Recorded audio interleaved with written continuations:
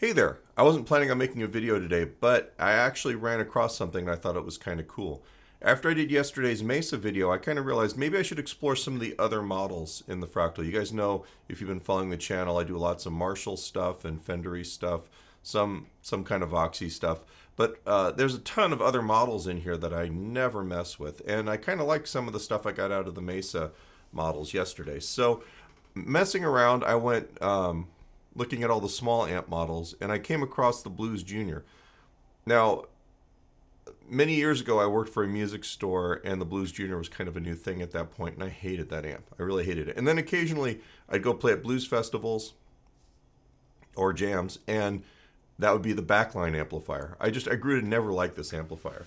And I said, you know what? Let's let's see what happens. So the first thing I did was I pulled up the Blues Junior, tried to get a clean sound out of it, and instead of using um, the cabinets that would normally go with it, I used the Leon Todd IR that I use in everything, which uh, actually got some decent sound. So here's the clean sound.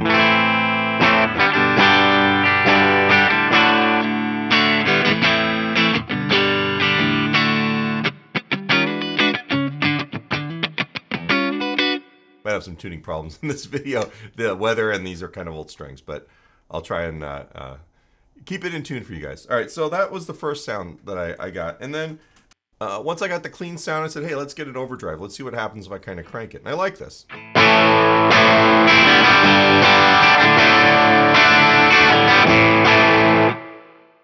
Now this amp, if we go to the amp tab here, uh, the power tubes are uh, EL84, so it could be kind of voxy if you want it to be.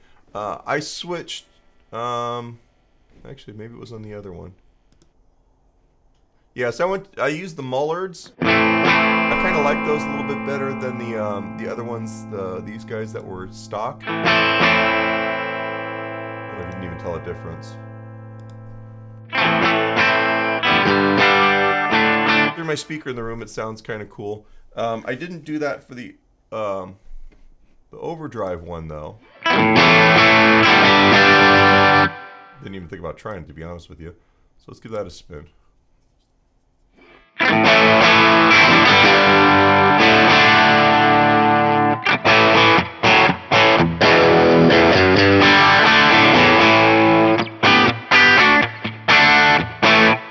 Leave that. It's just a, it seems a little bit warmer to me, even through my studio monitors.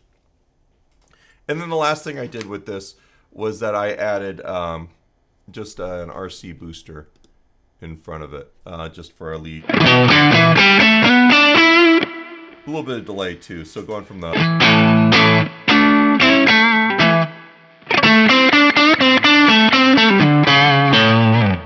So once I got those sounds down with the uh, with that speaker, I felt kind of bad because I use that for everything, and I figured maybe let's try it with some of the stock cabinets. So the first three on here um, are going to be the same three sounds, but with the Blues Junior cabinets. One uh, with a 57, and one with a, a Royer 121.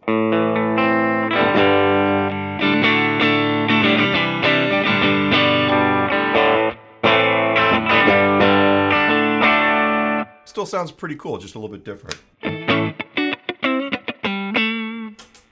Here's the crunchy sound.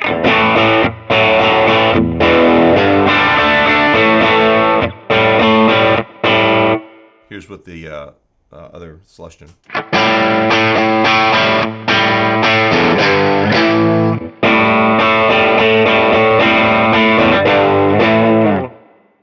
are the clean sounds. This is with the uh, the stock cabinet.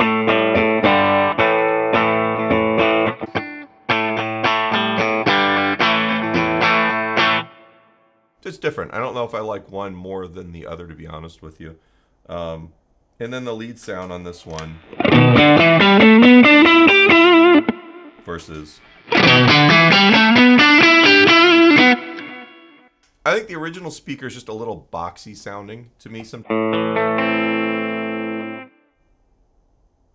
I think the original speaker on this, it's a little boxy maybe uh, to me, but it, it still works pretty good. Uh, except for the lead sound, I think I like the other one better.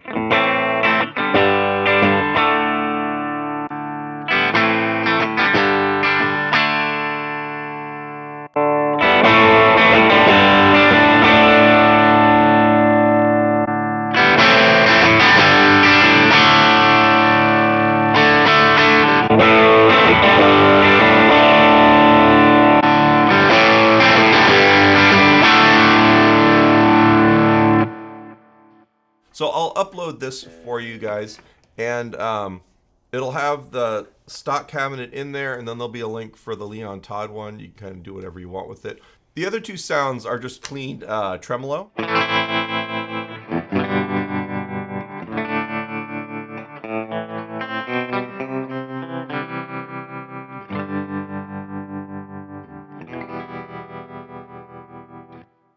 and a dotted eighth delay.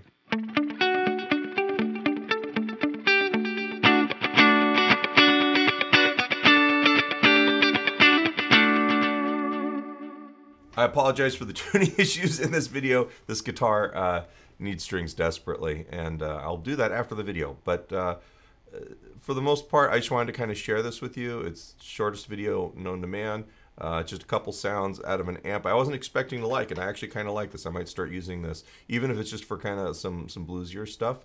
Uh, the delay, uh, I've got that dual delay, but then also for everything else, um, if I'm using it, uh, I've got a uh, mono bucket brigade.